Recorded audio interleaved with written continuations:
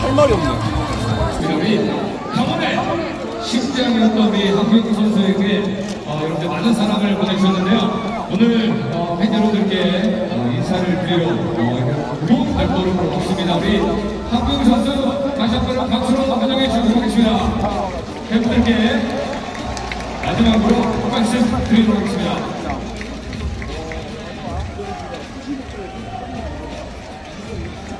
누가 울어.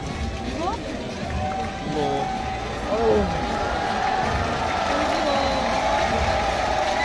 안녕하세요. 어, 지금은 국내 소속은 한국의 여러분.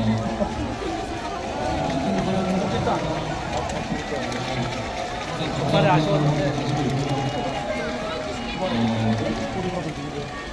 현대에서 최선을 다하고 이번에 다 쏟아서 중국 현대에 도움이 되는 그런 선수가 되도록 할 것이고 또 그래야만 그동안 저를 사랑해 주셨던 분들에게 주어지는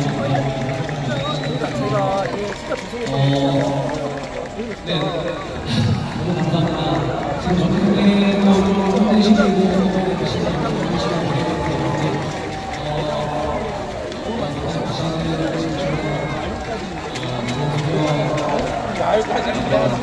하는 거야, 또. 정신적으로 다 열심히 하고.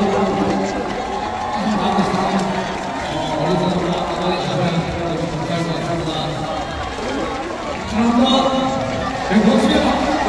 저희 팬분들도